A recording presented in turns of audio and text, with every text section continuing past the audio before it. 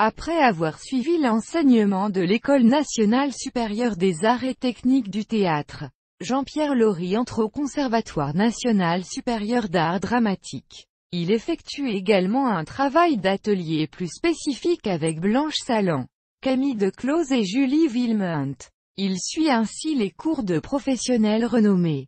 C'est d'ailleurs son ancien professeur, Brigitte Jacques, qui lui permettra de faire ses débuts sur les planches. Dans une pièce de Marivaux, La surprise de l'amour, en 1983. À la même époque, l'acteur commence à tourner des téléfilms. Le premier d'entre eux est Fabien de la Drôme. 1983. C'est en 1986 que Jean-Pierre Laurie fait ses débuts dans le monde du cinéma. Avec un rôle dans Jake Speed. En Dandroulin. Il n'abandonne cependant pas sa carrière théâtrale ni son travail sur les films de télévision.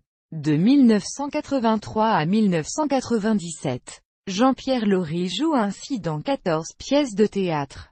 Il travaille beaucoup sur le répertoire classique, et joue des œuvres de Marivaux, Musset, Molière ou Corneille, mais se diversifie en jouant des pièces plus contemporaines, comme Les Enfants du Paradis de Jacques Prévert, mise en scène par Marcel Maréchal, ou encore Tango de Morozek. Dans le même temps, il continue à jouer dans des films pour la télévision, et se produit de plus en plus dans des œuvres cinématographiques. On le voit ainsi travailler avec des réalisateurs de premier plan, tels Christophe Kichlowski, dans le troisième volet de la trilogie.